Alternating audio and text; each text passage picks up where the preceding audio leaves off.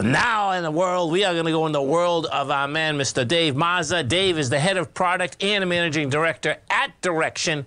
And as you come over to our website, folks, at TFNN, you're going to see the banner. You hit that banner, bring you over to the Direxion site. We're going to be talking about the single stock new ETFs. Dave Mazza, how you doing? I'm doing great. Happy to be back. Yes. Well, you know what I'd love to talk about, you know, because realistically, no one that has been long has had a chance to, to, well, I'm sure folks have gone long, but my, my point is at least we have a bounce going. So what I'd love to get, uh, you know, into, Dave, is Amazon, Microsoft, Google, so you can explain to the folks, you know, you have new ETF structures here that you can get one and a half to one, which is great for, you know, day traders. There's no doubt about that because if, if the stock's moving, folks, okay, um, bottom line, you can get one and a half to one instead of one, so you're getting a little bit more leverage. So can you talk to us first? We got Amazon moving out here, Microsoft's moving, you know, Google's not moving that much, but you can explain to us how these work, Dave? Yeah, so happy to do so, and um, you're absolutely right. So these are tools like any leverage and inverse ETF that's intended for tactical trading. So really, a day trader, someone who's interested in that, these can be in their toolkit because when you have embedded leverage, you need to be able to make that buy, sell, and hold decision very frequently and really daily. And the way they work is if we think about uh, SPXL, right? That's yes. 500 three times bull fund. Right. Right. So you take the index, right? 500 stocks, and it, that's amplified on a daily basis.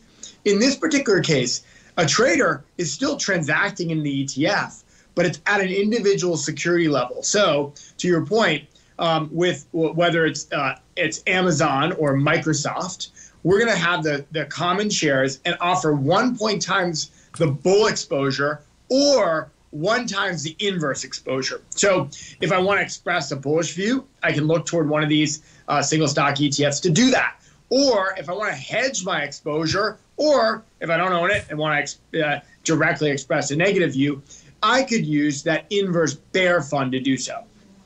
Yes, they, you know it's you know it's really cool. What happens, folks, is that if you uh, into the you know the NDX 100, um, you know I particularly like trading Microsoft and Amazon a lot. Uh, so it's really kind of cool because what happens, folks, is that when they move, they move. And in this particular case, you know, if you would bullish Amazon, you'd, you'd go into the AMZU, and you, you, first off, you can come over to our website TFNN hit the button. It'll bring you to the Direxion. You're going to see them right there.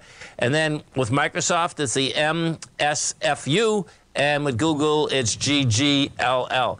So you know this is this is a really nice setup, particularly you know for folks that don't that are not in the futures market that want to get a little bit more leverage. And there's plenty of folks that like to buy 100 shares eh, of Amazon and Microsoft. I mean, eh, well, Amazon's less expensive now, so you can get more than that. But you know what I'm saying. So let me ask you: Are, are you looking at more of these singles? I mean, you guys were so far ahead of the curve on you know the leverage in the inverses. Is this where the market's going to go with highly uh, liquid stocks?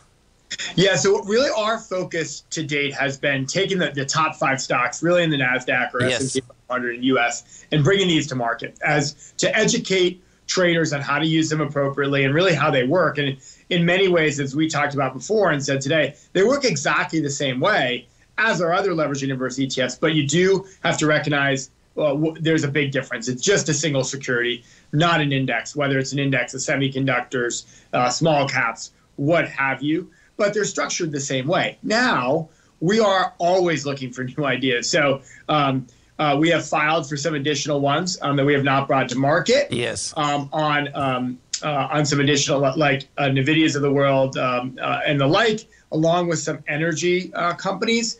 Right now, you know, we're happy with the ten we're seeing traders uh, probably uh, not to surprise really embrace the Tesla pair.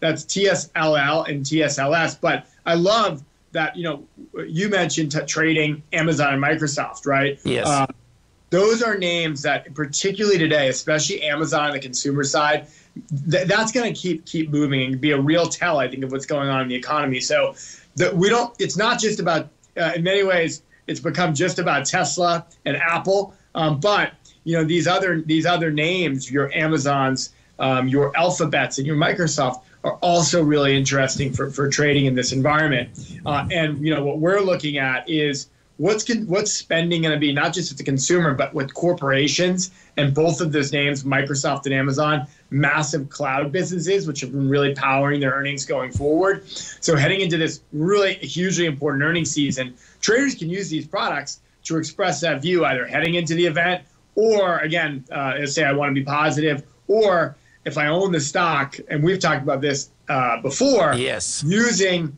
the inverse, uh, so AMZU or what have you, to kind of provide that hedge for me if I'm concerned that numbers aren't going to be so great.